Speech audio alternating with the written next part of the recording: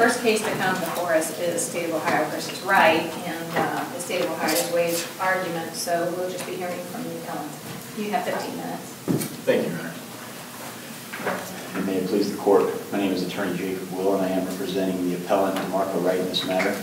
Uh, As I'm sure certain you've read my brief already, I just want to highlight two of the arguments that I raised in there. Um, The first issue that I would like to bring to your attention is uh, whether the trial court erred in denying appellant's motion for uh, an acquittal pursuant to Rule 29, specifically with respect to the aggravated robbery charge against the victim, McKinley Lancaster. Uh, As, as is elicited in the brief, this is a situation where a home invasion occurred by four co-defendants, and amongst them was Mr. Wright. Uh, The individuals went into the house looking for basically marijuana and money. Uh, They were under the impression that the kids living in the house sold drugs.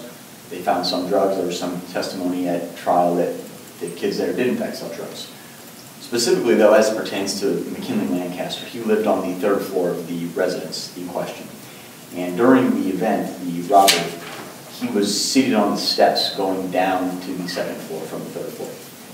He testified, and all the testimony really points to the fact that he was sitting there, and he was told to remain on the steps under an implicit threat of some physical harm to him. But that's all there is. There's never an attempt by any of these co-defendants or the appellant himself to actually steal something from Mr. Lancaster. No one asks him for any of his possessions, no one takes his wallet, no one asks him if he has any marijuana.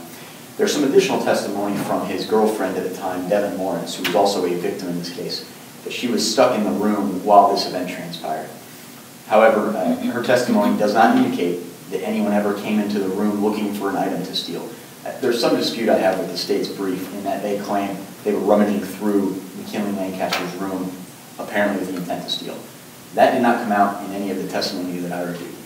Uh, Devin Lawrence does not state that they were in there trying to steal something from the room or looking through it, finding items to take. Uh, Mr. Lancaster himself, who admitted on cross that he had been convicted of a theft offense previously, said, yeah, no one's ever committed a theft offense against me when this happened. He was basically in the house when it occurred. He was obviously a victim of a kidnapping offense, and I'm not here to argue that, but I am arguing that he was not the victim of an aggravated robbery. Uh, And that's important, obviously, because he was, Mr. Wright was convicted of multiple aggravated robberies, and those sentences were all imposed consecutively, consecutively to one another.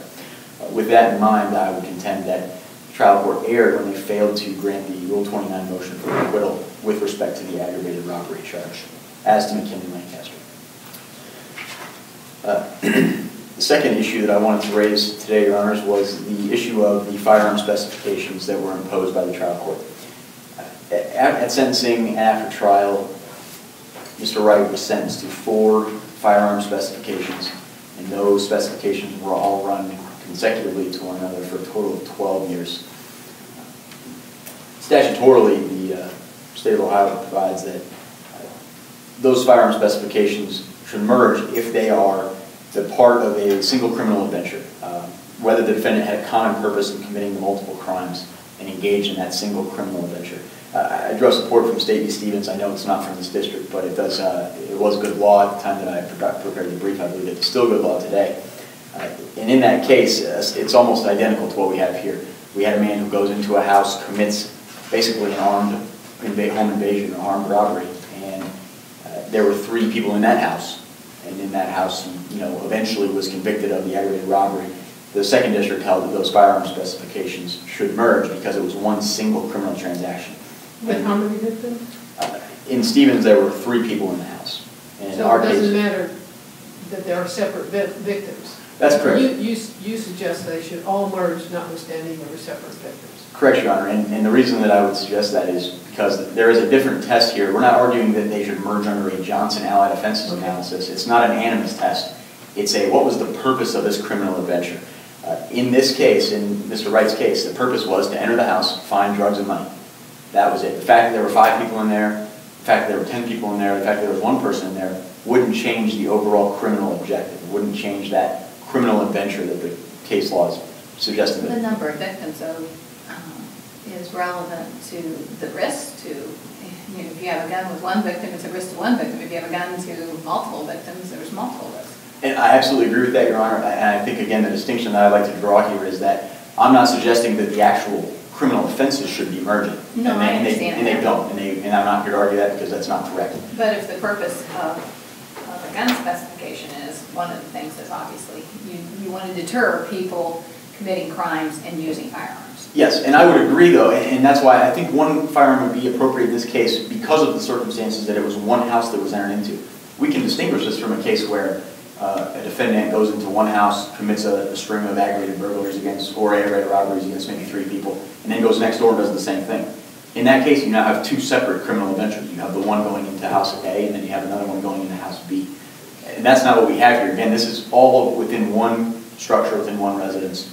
The the difference, as I am asking, in one residence, you're all one residence, but this was a number of different individuals living within one building. So they weren't all one residence, there were a number of different residences, wouldn't you agree? Well, I would suggest that this is more akin to a bunch of roommates uh, in a college house. I mean, that's the way that I think the testimony sort of painted the picture. They weren't separate structures inside, they all shared rent, they all shared utilities. There was testimony that one of the individuals who was not home actually was the guy who got all the money from his roommates and then paid the electric bill, for example. The other thing you said that, that Mr. Lancaster was not a victim of an aggravated robbery. Yes. Isn't he the one that said, please don't shoot? He's, as he walked down the steps, because he heard the rustling in the house or the the commotion, there's some bangs on the door. He walks down and that's when uh, he testifies, yes, uh, one of them came to me and said, you know, or just showed up there and showed a gun at him and he said, please don't shoot. Right, that, that was him. That was Okay, him. Uh, and, but, and just to go back to that point briefly, um, he may have been threatened, and, and I'm not gonna suggest he wasn't, you know, maybe he was, there was an aggravated menacing that occurred there. Uh, But he was, there was, he was never the victim of a theft offense. There was never a theft offense perpetrated on him, nor was one attempted on him. E- even when that person had the gun to him, he didn't say, give me your wallet, or open up your pockets, or what do you have on you. That never actually occurred. He was literally just walking down the steps and decided, you know, let's go get a gun and sit down. And that was just really the end of his involvement. And furthermore, the one defendant who did go into the room, Mr. Lancaster's room on the third floor, he testified, and he never stated that he tried to look for anything to take. He was simply trying to escape the police. And that's when he was captured actually coming out of the third floor window. Um, Other than that, Your Honors, I would just reiterate, I think that the uh, firearm specifications should merge. Um, If they, even if they were properly convicted, uh, they should merge for one firearm specification of three years to the active sentence. And with that, if there are no other questions, I would rest on the remainder of my brief. Apparently not, thank you very much. Thank you, Your Honors. We will, um, make sure that you get a copy of the written opinion sent out, and that, um, you can look on the Supreme Court website, as well as our website. Thank you very much. Thank you.